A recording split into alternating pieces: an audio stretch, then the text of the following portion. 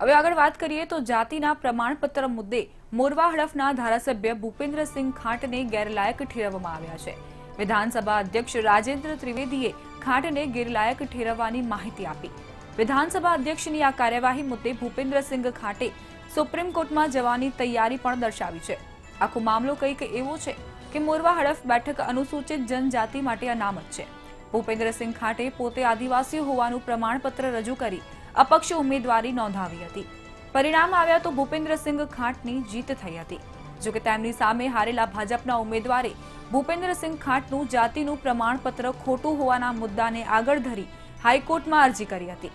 આ મામલો અત્યારે હાઈકોર્ટમાં ચાલી રહ્યો છે. રાજેન્દ્ર ત્રિવેદીએ કહ્યું કે આ મુદ્દે રાજ્યપાલ પાસે પણ અરજી થઈ હતી. અરજીના આધારે રાજ્યપાલે ભૂપેન્દ્રસિંહ ખાંટને ગેરલાયક ઠેરવવાનો હુકમ કર્યો છે. તો આમ સમગ્ર રાજકારણ જે છે તે ગરમાઈ ગયું છે. આજ અંગે વધુ વિગતો સાથે ન્યૂઝ રૂમથી અરુણ શાહ લાઈવ જોડાઈ ગયા છે. જે અરુણ જણાવશો જે રીતે આ સમગ્ર મામલો સામે આવ્યો છે. તો કહી શકાય હવે ભૂપેન્દ્રસિંહ ખાંટ જે છે તેમ તે આગળ શું કરી શકે છે? ચોક્કસ રીતે કહી શકાય કે લોકસભાની ચૂંટણી દરમિયાન અગાઉ અને હાલ, હાલમાં પણ વિધાનસભા અધ્યક્ષ દ્વારા કેટલાક કઠોર નિર્ણયો પણ લેવામાં આવી રહ્યા છે.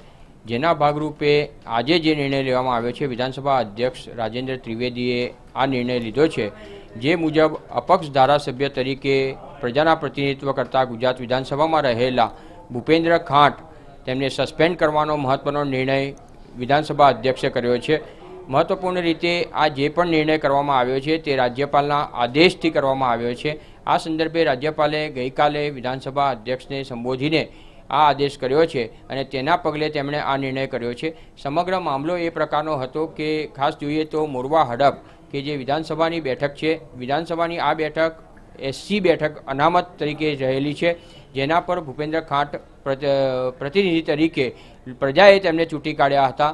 સૌથી મહત્ત્વની વાત એ છે કે તેમણે જે દસ્તાવેજી પુરાવા, ઉમેદવારી પત્ર ભરતા સમયે રજૂ કર્યા, તેમાં જે એસસીનું જે પ્રમાણપત્ર હોય, એટલે કે જાતિનું જે પ્રમાણપત્ર હોય તે ખોટું હોવાનું પુરવાર થયું હતું. આ સમગ્રે સમગ્રતઃ મામલો જે જોઈએ તો હાઈકોર્ટ સુધી પહોંચ્યો હતો અને ત્યારબાદ જે હાઈકોર્ટના નિર્દેશ મુજબ તેમને સસ્પેન્ડ કરવા માટેનો નિર્ણય લેવામાં આવ્યો હતો. તેના અમલના ભાગરૂપે અંતે રાજ્યપાલ તરફથી જે આદેશ થયો છે અને તેનો અમલ વિધાનસભા અધ્યક્ષે કર્યો હોવાની માહિતી તેમણે આપી છે. મહત્વપૂર્ણ રીતે જોઈએ તો આ એક જ પ્રકારના આવા આદિજાતિના ઉદાહરણો નથી. પરંતુ આદિજાતિના ખોટા પ્રમાણપત્ર ઉપર અનેક લોકોએ નોકરી પણ મેળવ્યાના પુરાવા છે, સરકારી નોકરી પણ મેળવ્યાના પુરાવા છે અને તેના આધારે રાજ્ય સરકાર દ્વારા આ અંગે ગંભીરતાથી કાર્યવાહી હાથ ધરવામાં આવી રહી છે. મહત્વપૂર્ણ રીતે આ સંદર્ભમાં પણ જે રીતે ભૂપેન્દ્ર ખાંટે આદિજાતિનું ખોટું પ્રમાણપત્ર રજૂ કરીને ઉમેદવારી કરી હતી. તેના પગલે આ મહત્વનો નિર્ણય લેવામાં આવ્યો છે અને રાજ્યપાલના આદેશથી વિધાનસભા અધ્યક્ષે અંતિમ નિર્ણય કરીને આજે ભૂપેન્દ્ર ખાંટને ધારાસભ્ય પદેથી સસ્પેન્ડ કરવાનો મહત્વનો નિર્ણય કર્યો છે.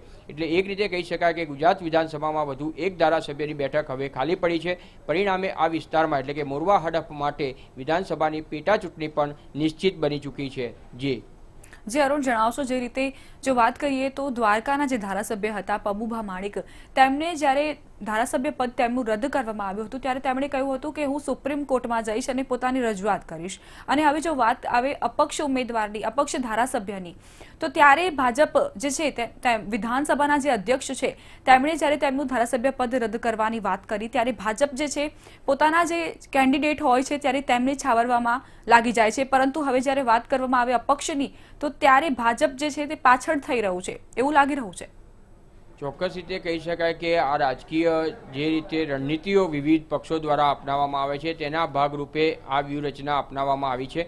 પરંતુ આ કેસમાં જોઈએ તો જે કોર્ટનો નિર્દેશ હતો અને તેના સંદર્ભમાં જે આ પ્રમાણપત્ર જે રજૂ કરવામાં આવ્યું એ ચોક્કસ રીતે ખોટું પુરવાર થયું છે અને તેના પગલે આ આદેશ આપવામાં આવ્યો છે અને રાજ્યપાલનો આદેશને કોઈ અવગણી શકતું નથી.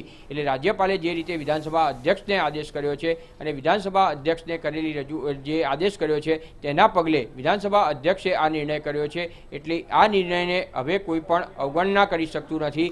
અને અવગણના જો કદાચ બી કરે, તો તેનો અમલ કરવો, જે રાજ્યપાલનો આદેશ છે તેનો અમલ કરવો જ રહ્યો. અને એના જ પગલે જે વિધાનસભા અધ્યક્ષે અમલ કર્યો છે અને તેના ભાગરૂપે ચોક્કસ રીતે કહી શકાય કે હવે જે ભૂપેન્દ્ર ખાંટ છે, એનું ધારાસભ્ય પદ હાથમાંથી સરકી ગયું છે. અને હાલના તબક્કે વધુ એક ધારાસભ્યની વિધાનસભામાં જો બેઠકની દ્રષ્ટિએ જોઈએ, તો એકસો બેઠકોમાંથી વધુ એક બેઠક ઓછી થઈ છે. જી. જી, આભાર માહિતી આપવા માટે. તો ભૂપેન્દ્રસિંહ ખાટને વિધાનસભા અધ્યક્ષે સસ્પેન્ડ કર્યા છે. આ સાથે જ કહી શકાય કે વધુ એક ધારાસભ્ય જે છે તેમ, તેમનું ધારાસભ્ય પદ રદ થયું છે. જાતિના પ્રમાણપત્રને લઈને આ કેસ ચાલતો હતો. વિધાનસભા અધ્યક્ષે ખાટને આ મુદ્દે જ સસ્પેન્ડ કર્યા છે. તો અત્યારે આ કેસ ચાલી રહ્યો છે અને